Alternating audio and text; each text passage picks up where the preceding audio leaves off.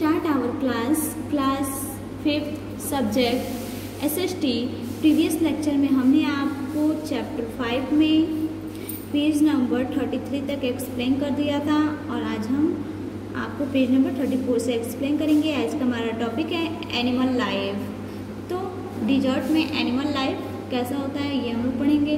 There are many types of animals and insects found in deserts wild life such as Lineage foxes, zebras, head, head, hedgehogs, and insects such as scorpions and spiders are found here. Some of these animals sleep during the day and come out at night to avoid the heat. The most important and useful animals found here the camel which is called the sheep of desert. It has some special features which help to survive the hard life of desert. It can store water in the lining of its stomach.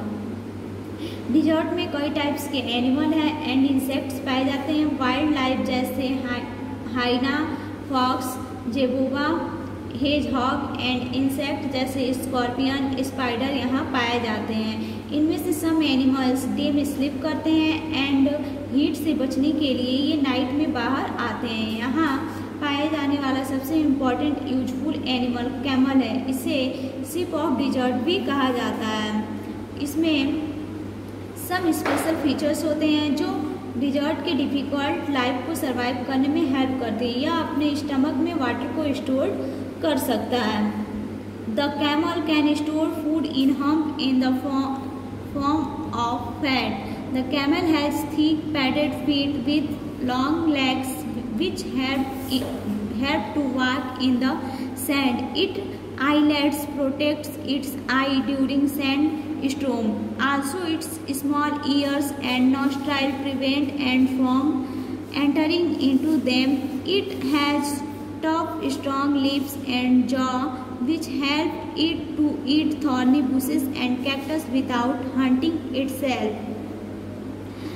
और camel अपने hump में food को fat के रूप में store करता है camel के लॉन्ग लेग के साथ थिक पैडेड फीट होते हैं, जो डिजर्ट में वॉक करने में हेल्प करते हैं इसकी आई लीड्स सैंड स्ट्रॉम के दौरान अपनी आइज़ को प्रोटेक्ट करती है। इसके अलावा इसके कुछ small ears and nostrils sand को उसमें एंटर करने से रोकते हैं। इसमें स्ट्रॉन्ग लिप्स एंड जॉ होते हैं, जो इससे बिना हॉट किए थॉर्नी बुसेस एंड कैक्टस को ईट करने में इसकी हेल्प करते हैं।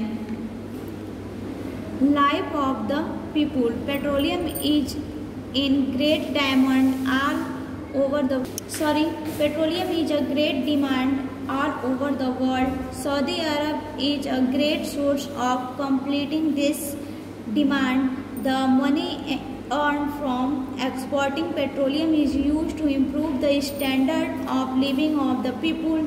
Town and cities have grown rapidly. The cities have all modern facilities. Most people live in towns. They work as traders, executives and factories पूरे वर्ल्ड में petroleum की बड़ी मांग है सऊदी अरब इस भाग इस मांग को कंप्लीट करने के लिए एक लार्ज सोर्स है। पेट्रोलियम के एक्सपोर्टिंग से अर्न मनी का यूज़ लोगों ने अपने जीवन को इम्प्रूव करने के लिए किया है। टाउन एंड सिटीज़ तेज़ी से ग्रो किए हैं। सिटीज़ में आल मॉडर्न फैसिलिटीज़ हैं। ज़्यादातर लोग सिटी में रहते हैं। वे ट्रेडर्स एक्सक्यूटिव एंड वर्क करते हैं। Industries such as petrochemicals petroleum refining fertiliser cement iron and steel have been developed a large number of schools and college have been open to provide modern education petrochemicals petroleum refining fertiliser cement, iron and steel जैसे industries developed किए गए modern education provide करने के लिए large number में school and college open किए गए हैं।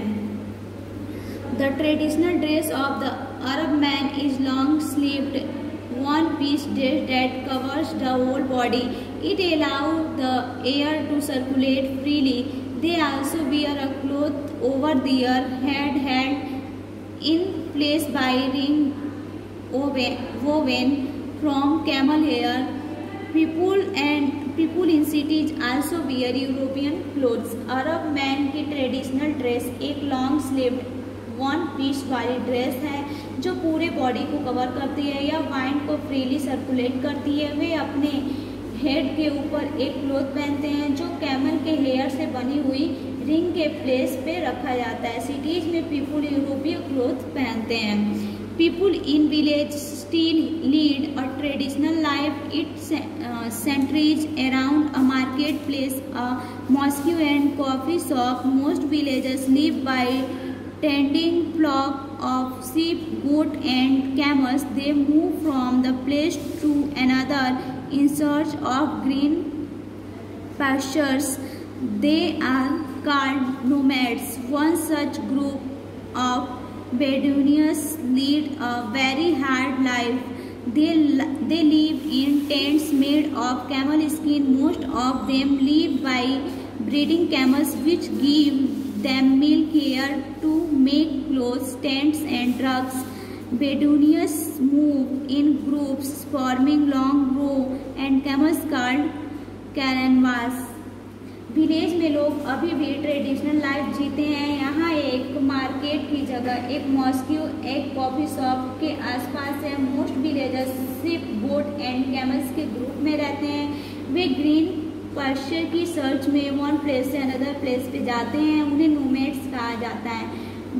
बेडोस के ऐसे एक ग्रुप का लाइफ बहुत डिफ़िकल्ट है। वे कैमल की स्किन से बने टेंट में रहते हैं। उनमें से मोस्ट कैमल के ब्रीडिंग से जीते हैं, जो उन्हें मिल्क क्लोथ बनाने के लिए हेयर एंड टेंट्स एंड ड्रड्स बनाते हैं।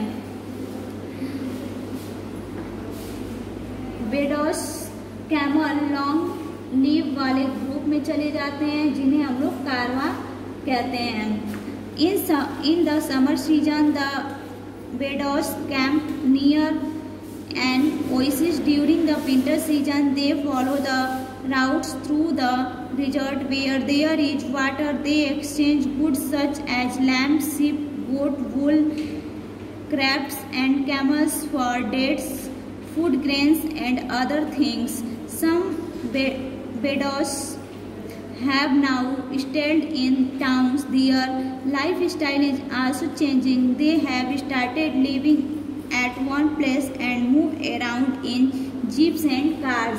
Summer season winter season के दौरान समर सीज़न में एक ओएसिस के पास बेडोस सीवर विंटर सीज़न के दौरान वे डिजर्ट के माध्यम से फुल मार्गों का पालन करते हैं जहाँ वाटर है वे शिप के बॉडी बेबी sheep, goat and bull,